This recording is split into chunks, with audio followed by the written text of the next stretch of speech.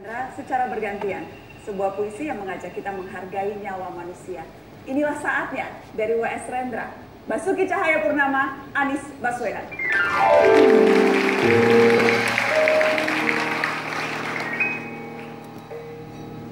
Inilah saatnya melepas atu yang penuh kisah, meletakkan ransel yang penuh masalah, dan mandi mengusir rasa gerah, menenangkan jiwa yang gelisah.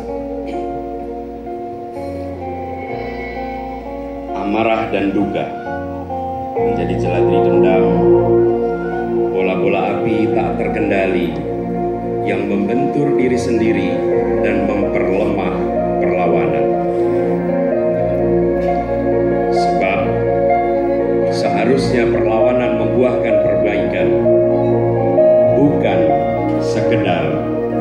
penghancuran.